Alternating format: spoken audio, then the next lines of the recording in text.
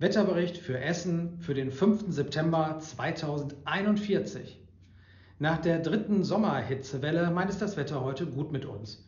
Die Gewitter, die gestern durch das Tief Armin über Essen wüteten und für mehrere Tornados über dem östlichen Ruhrgebiet sorgten, sind nach Südosten abgezogen.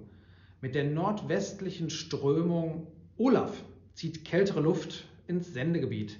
Bei einem Sonne-Wolken-Mix erwarten uns angenehme 28 bis 30 Grad.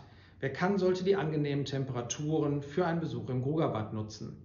In der Nacht fällt das Thermometer erstmals nach drei Wochen wieder unter 26 Grad. Wir empfehlen, die Wohnung gut durchzulüften.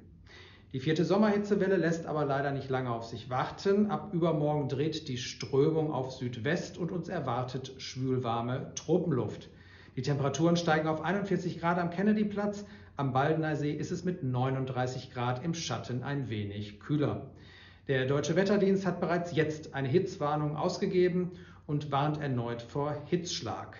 Planen Sie daher den Tag so, dass Sie zwischen 12 und 14 Uhr möglichst drinnen verbringen. Und die Stadtverwaltung bittet einmal mehr darum, wieder auf die älteren MitbürgerInnen zu achten, damit sie ausreichend Flüssigkeit zu sich nehmen. Bleiben Sie daher gesund.